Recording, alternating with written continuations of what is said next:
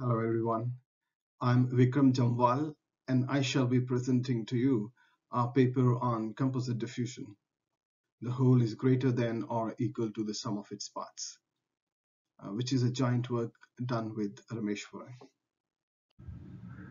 The problem that we are tackling is that if you have parts and if you're composing them together, the idea is that you compose, you generate and compose them in a manner that the whole retains or enhances the properties of the individual components.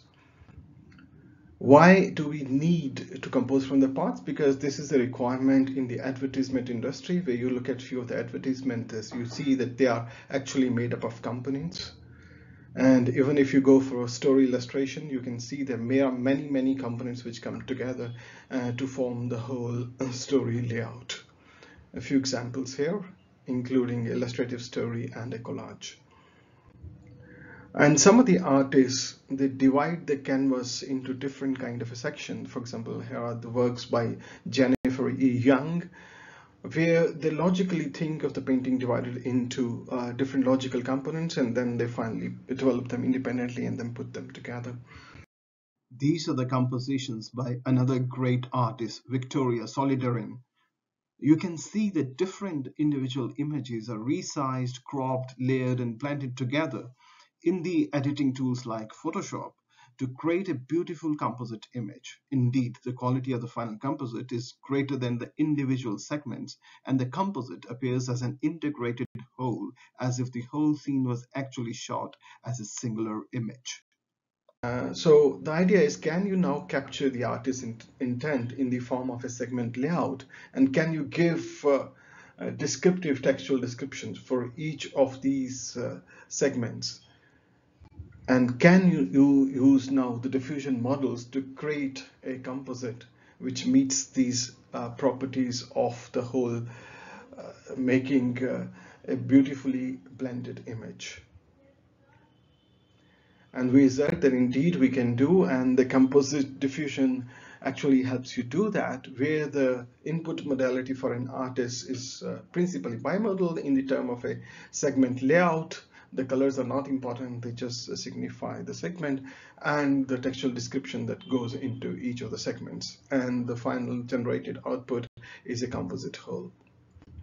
You can extend this uh, uh, composite diffusion, uh, which now even supports uh, many kind of a control conditions, including different kind of a control conditions. For example, scribble, open pose, and line art that are being fed to different segments uh, along with the textual description, and then finally you create a composite out of it.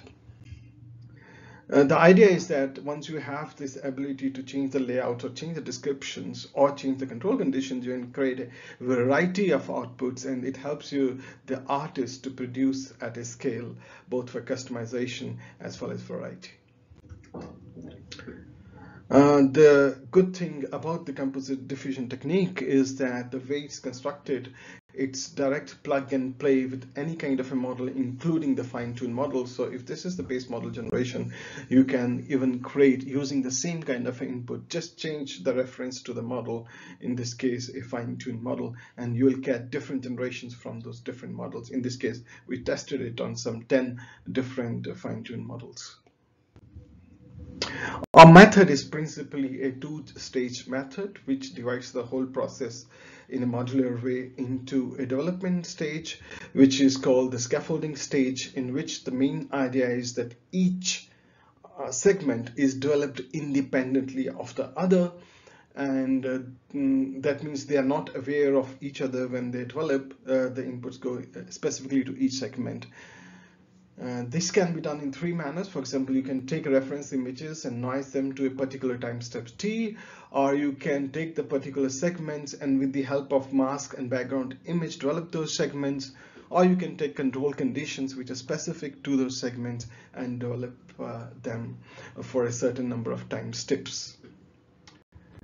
And the idea is that after you have anchored the image well, then you can use uh, more uh, in context development, that means the same latent is being fed at each stage and uh, you get, apply, even if you're applying segment conditions, you apply them to the same latent and then compose at each stage. The idea is that by kind of uh, developing in the context of each other, they are more harmonized and well blended together. Now you see an example of uh, these stages. In this case, the scaffolding stage is the 20% of the time steps, which is denoted by a, a factor called uh, kappa, which is a scaffolding factor. Uh, and in that we anchor the image in this particular case for the first 10 steps and for the next 40 steps we let the harmonization take over. The further impact of this kappa factor is that it gives a very nice control to the artist that by kind of controlling the kappa uh, value or the scaffolding value, you can make the segments blend together uh, to a different extent. For example, for a low value, you have a totally merged image, and for a higher value, you have a more collage kind of a picture, and depends upon the final application that you are aiming for. Similarly, for the reference images, the kappa factor controls how much blending do you want in the generations.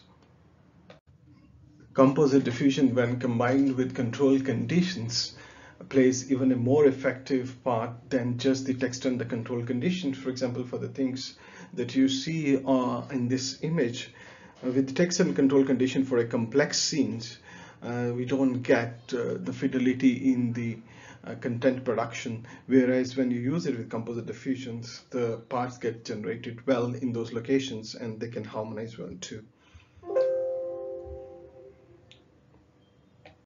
In this case if you see that you have an image where you want four different seasons to appear in different parts of the image but it's uh, almost impossible with the base uh, diffusion models or with just the text and the control conditions but if you combine it with the composite diffusion you can get uh, very distinct uh, regions with four different seasons. This is just for as an illustrative example for the capabilities that it creates.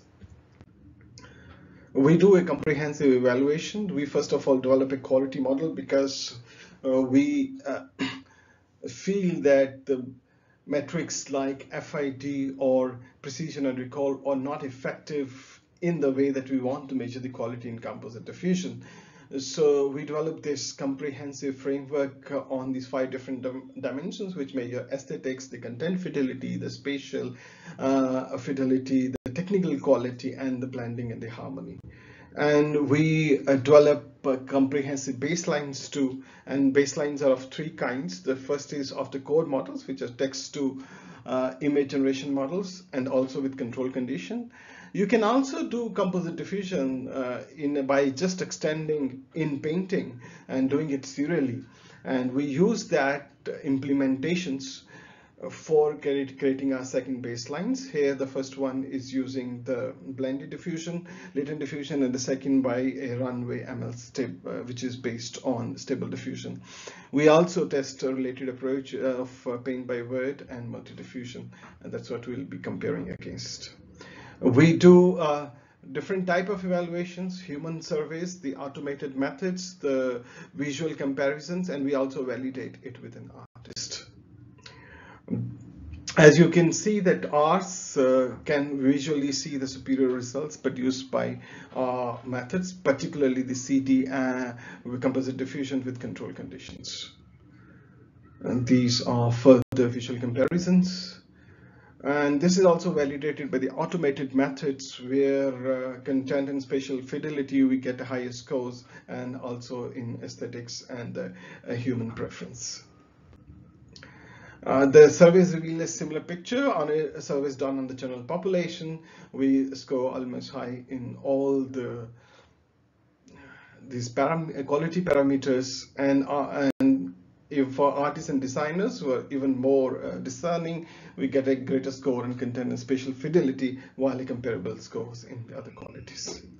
We also do a validation exercise with an artist. We gave the input. Uh, uh, uh, we got the input from the artist in terms of very rough sketches and the descriptions of those sketches, and then we developed the artwork based on that, which we validated with the artist, and the feedback is shared in the paper and we find it mostly the artist found it very very satisfactory and finally we conclude that composite diffusion presents a novel way for artists and graphic designers to approach their art in a manner that is both intuitive and effective.